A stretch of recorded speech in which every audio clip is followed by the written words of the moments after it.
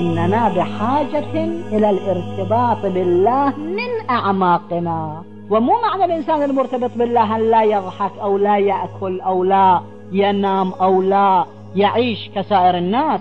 يقول في وصف الإمام أمير المؤمنين الناشئ هو البكاء في المحراب ليلا هو الضحاك إذا اشتد ضراب أنت من أهل الدنيا لكن قلبك مربوط بمكان آخر. أنت من أهل الدنيا وتأكل وقالوا ما لهذا الرسول يأكل الطعام ويمشي في الأسواق؟ كانوا يتزوجون وكانوا يعاشرون وكانوا يباشرون وكانوا بين الناس وكانت أخلاقهم حسنة أخذهم عطاؤهم.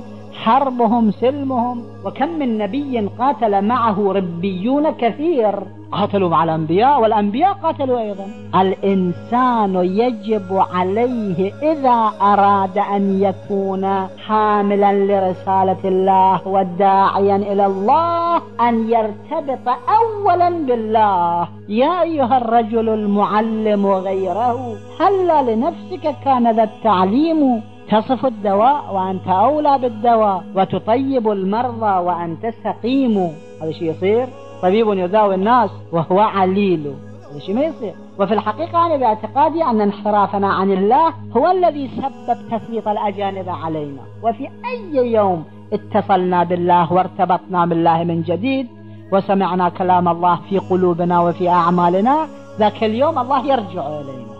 اللهم إن قلوب المخبتين إليك والهة وسبل الراغبين إليك شارعة وأعلام القاصدين إليك واضحة وأفئدة العارفين منك فازعة وأصوات الداعين إليك صاعدة وأبواب الإجابة لهم مفتحة ودعوة من ناجاك مستجابة وتوبة من أناب إليك مقبولة وعبرة من بكى من خوفك مرحومة يعني ترحم هذه العبرة يا راحم العبرات.